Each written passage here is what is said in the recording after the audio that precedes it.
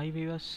So today here to uh, see the topics uh, how to compare the two byte uh, arrays uh, so here I have uh, uh, three variables holding a byte of array 123 123 and uh, uh, 1 to 4 see I want to compare a1 to a2 and a1 to a3 so for that uh, uh, what I need to go and use. So here we have a concept uh, um, the method called sequential equal.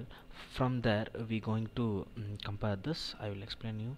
So uh, first comparison uh, a a1 to a2 so a1 dot sequential equal.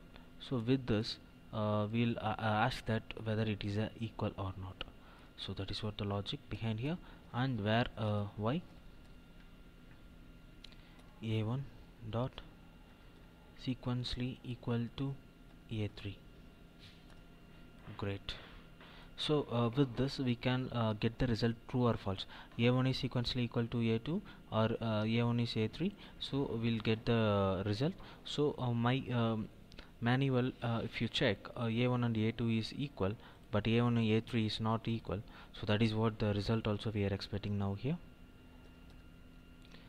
Console dot write line. X. Okay then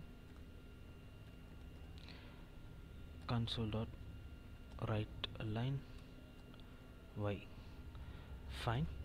So now I run the application so I got the result called true and false.